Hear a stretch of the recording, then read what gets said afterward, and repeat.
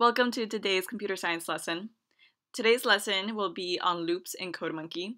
And loops are a very important idea in computer science because they're part of the reason why computers are so powerful. A loop in computer science uh, lets us repeat code however many times we want. So, for example, say we want our monkey to step 10 10,000 times. Without a loop, we would have to write step 10, that line of code, 10,000 times ourselves. Instead, though, we have loops. And a loop, let's say, could look like two lines of code where we tell the computer that it should be repeating step 10 10,000 times.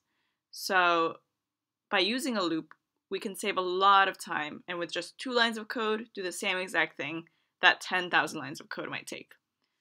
Let's look at examples of loops in CodeMonkey. In CodeMonkey, make your way to challenge number 21. That's the beginning of Loopland in CodeMonkey. So if you look over here, you'll see a line of code on line 1 that says two dot times followed by space and an arrow. This line of code here is setting up a loop, and it's saying that we want to repeat something two times. If you forget how to type this, no worries. If you look right here, there's a little button where if you click it, it'll set up a loop for you. Now, something else that's important to know about a loop is that it repeats whatever is inside of it. And to put something inside of a loop, we need to add something called indentation, which is four spaces right here. There's two ways to do that. You can either hit the tab key on your keyboard, which automatically adds four spaces. If you're not sure where to find the tab key, you can also hit your spacebar four times. Right? Now, a loop will only repeat something that is inside of it. So let's say you had this. Right now there's nothing inside of your loop because there's nothing indented right below it. If you had this, turn left would repeat two times, but step 15, since it's outside of the loop, wouldn't repeat at all. It would just happen once. And finally, if you had this, turn left, and step 15 would both repeat two times. Now, my biggest piece of advice to you is to always start off by saying what's happening. And we could do that by pressing the run button. So notice here that the monkey turned left and then stepped 15 times, twice, because we have a loop here that says to do it two times. The next piece of advice I have for you is to think about how many times do we need the monkey to repeat the code? Usually it has something to do with the number of bananas, but not always. In this case though, it does. So let's see. We need the monkey to turn left and step 15 one, two, three times. So I'm just going to change the number right there to 3 and then see what happens.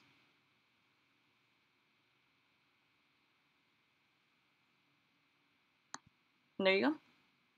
Now I've skipped ahead to level 24 to help you walk through how to create a loop from scratch when there's no code there for you. So again, if you forget how to write a loop, there's this handy times button right here that you can click and it'll set one up for you. The next thing we need to do is think about what is the first step the monkey needs to take to grab that first banana. So look at this monkey and look at the first banana. It seems like the monkey needs to just step forward and we can measure the distance with this ruler.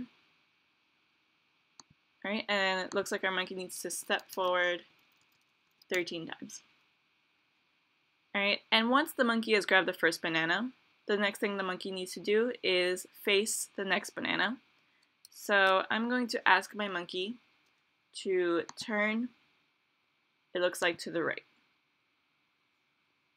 And that's the very first step. Now, how many times does our monkey need to do that? Well, it needs to grab one, two, three bananas. So I would say three times. All right, and now I'm not 100% sure that this will work, but I'm going to press my run button to see where it takes us.